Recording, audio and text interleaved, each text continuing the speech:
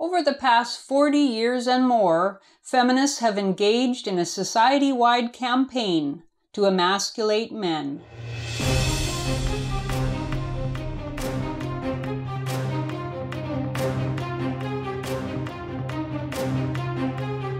I'm Janice Fiamengo, and this is the Fiamengo File 2.0.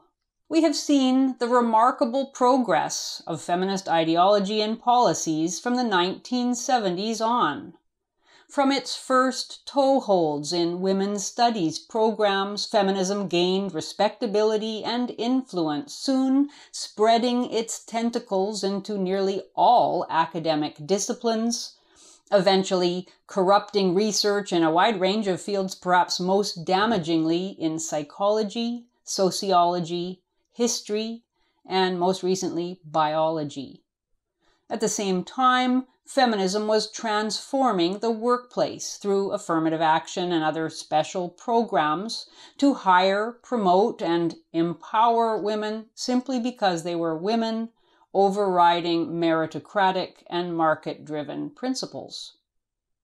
These two massive victories for the women's movement would alone have secured the transformation of the English speaking world, as women were shoehorned into many powerful positions they hadn't earned, and as feminist ideas about male privilege and female victimization spread throughout society.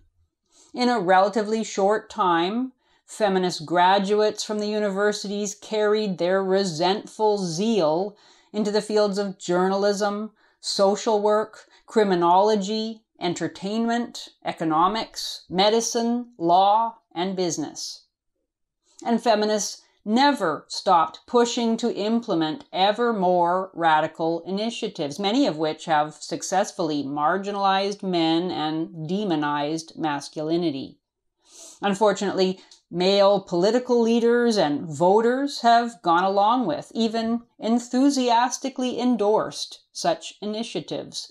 Some because they wished to be fair to women, some because it seemed useless to protest, and some because they saw in such initiatives a far reaching lever of power, a way to weaken male competitors, guaranteeing male compliance and submission as these more powerful men executed their self serving designs. The most feminist men, as we've seen, are often the most ruthlessly self promoting. For them, a surface adherence to feminist ideals enables the signaling of mate status and the securing of dominance over other men. The most dramatic and far reaching of feminist interventions was the introduction of no fault divorce and all the associated legal and family court machinery that quickly developed alongside it as divorce became a substantial source of revenue and power for many state accredited professionals. As Stephen Baskerville has shown in many articles and books such as Taken into Custody and The New Politics of Sex, no fault divorce, first signed into law in 1969 by California Governor Ronald Reagan, launched a severe assault on the bedrock of society, the family, which feminists had long touted as oppressive for women and in need of dismantling. And dismantle it they did. No fault divorce meant in law and in practice that a man's marriage could be unilaterally dissolved without his consent, at which time he could be evicted from the home he had paid for, which in many cases became the ex wife's family home, could have his children taken away from him and able to see them only as his ex wife permitted, could be prevented from seeing his children altogether if his ex wife claimed, even with no evidence, that he had been abusive or threatening, could be forced to undergo a psychiatric evaluation to determine the degree of danger he might pose to his once family could have his bank accounts raided to support his ex wife and former children, and could even be jailed based on the word of his spouse with no evidence of wrongdoing required simply because his wife wanted it and was willing to make a case for it. The new laws to liberate women from unhappy marriages while protecting their financial well being not only wrecked families, impoverished fathers, and left children traumatized, but gave the state unprecedented powers over individual men and some women, the power to detain, plunder, and prosecute them without any of the established legal protections, such as the presumption of innocence and due process of law. Fathers who couldn't pay what family courts decided they should could find themselves homeless barred altogether from seeing their children, mentally and emotionally devastated, and even jailed. All this while having committed no crime other than failing to maintain the love and respect of their ex wives. Feminist ideology, broadcast from every university and represented in so many magazines, movies, advertisements, and newspaper op eds, had been telling women for years that they should withdraw their love and respect as a gesture of female empowerment. Women often presented their decision to divorce as an act of personal freedom and were applauded for it. If fathers tried to fight back to maintain their right to parent their children, feminists declared that they were doing so not out of love, but in order to abuse them. We will never know the number of men who have been imprisoned or have killed themselves as a result of this horrific legal transformation that has taken place with little general awareness and with negligible protest. The new family court system has weaponized lawyers, judges, court appointed therapists, and social workers who reap huge profits from divorce and the resulting social and personal mayhem.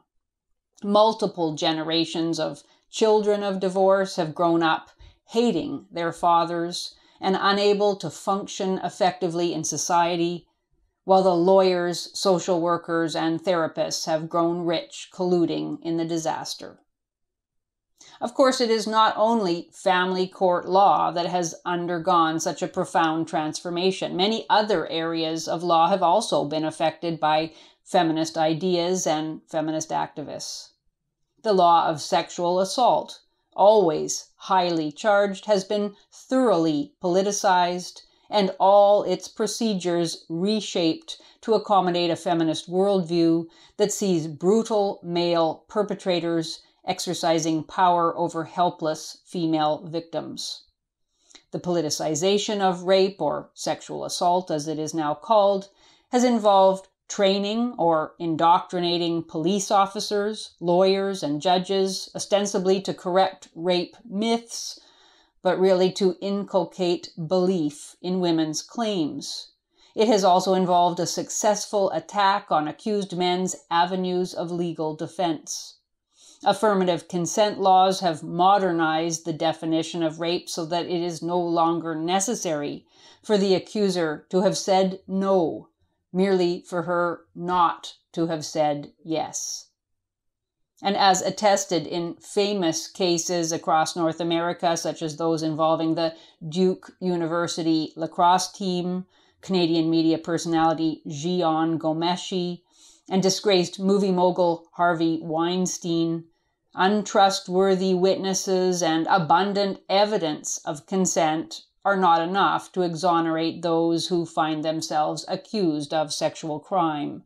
Even email and text messages by accusers sent to their alleged rapists saying how much they enjoyed the date, for example, can be explained away now as insincere or somehow coerced trauma theory employed abundantly in the Weinstein trial can redefine women's statements of consent as attempts by a victim to placate her abuser or to normalize her assault. Even when the complainant has gone on to have a long term sexual relationship with her alleged abuser, that merely becomes evidence of the depth of her trauma. According to the new feminist theory of rape and male power, nothing the accuser does can prove she has lied.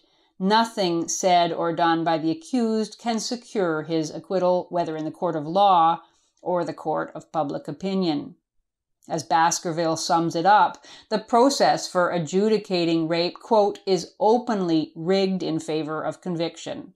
Rape accusers remain anonymous, but the accused do not, even after the accusation is demonstrated to be false. The past sexual history of the accuser is not admissible as evidence, but that of the accused is. Accusers are exempt from polygraph tests, but not the accused.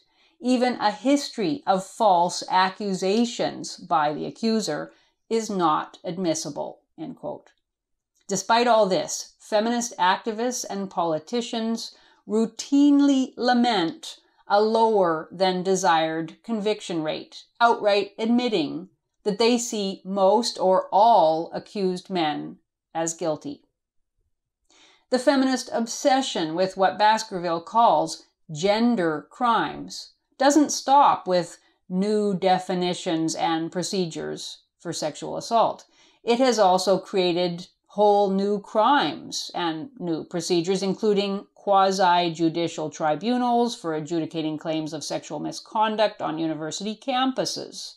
Here, the rules of evidence and procedures are even more biased than in a court of law, often involving investigation by ideologues with no legal training, the denial of an accused's right to a lawyer, the denial of his right to know the evidence against him, and a lowered standard for determining guilt. Likewise, anti harassment policies in schools and workplaces make a firing offense of many perfectly legal and hitherto acceptable acts, such as requests for dates, compliments, inappropriate jokes, suggestive conversations, or even intent looking. As Baskerville phrases it, it is now possible, quote, to punish any sexual or romantic interaction between men and women under any circumstances if the woman complains to the authorities. End quote the taint of male sexual guilt so adamantly proclaimed by feminists has led to the creation of offenses for which only men essentially can be guilty, including stalking, catcalling, hate speech, online harassment, and street harassment. These are transgressions invented by ideologues in order to stigmatize masculinity and sideline men. Indeed, at the same time that affirmative action and equity hiring policies have been giving women special access to a variety of coveted jobs, harassment and misconduct legislation have been making it increasingly easy for women to push men out of their positions merely by complaining to authorities. Feminism flagrantly envisions a world in which Women lead and men simply hope to escape persecution. As the entirety of the media, Hollywood, advertising, and social media platforms have been overtaken by feminism, we have seen constant attacks on alleged male villainy and constant foregrounding of women's issues in everything from air conditioning in offices to rates of pay and childcare provision. Whatever the subject, whether economic trends or the COVID pandemic, marital infidelity or federal budgets, climate change or the war in Ukraine, everything must be seen primarily from the woman's point of view and through the lens of victimology dreary and predictable as it all became a long time ago, still the feminist perspective must never be allowed to rest. The men it has all been practiced on, the thousands falsely accused, put through the hell of divorce, alienated from their children, fired from their jobs, investigated by the police, or merely hectored about their privilege, their mansplaining, their manspreading, their sexual entitlement, their overrepresentation in certain spheres, their need to walk a mile in her shoes and defer to superior feminine leadership and team building, these men are not allowed even to tell their experience. If they do attempt to do so, they will be accused of misogyny. Through it all, the mantra is repeated more must be done for women. Even the transgender phenomenon can be discussed only as it relates to women's preferences, opportunities, and privileges. Where it does not inconvenience women, it does not exist. While it was once possible to discuss what was best for society, recognizing the special needs and requirements of children, the feminist movement has drowned out all voices but those that focus narrowly on the protections and privileges of women. The result is a wide range of policies and laws that not only create enormous injustice for men, but also destroy the basis of family life, individual privacy, individual freedom, and the rule of law. The feminist influence is so profound as to imperil the continued functioning of society itself, its ability to nurture the next generation, to pass on knowledge and skills, to value excellence, pursue justice, and maintain social order. Feminism is at root not only a war on men, though it definitely is that, an unceasing, relentless, and hate fueled attack on every vulnerable boy and man, but it is also an increasingly successful war on civilization itself.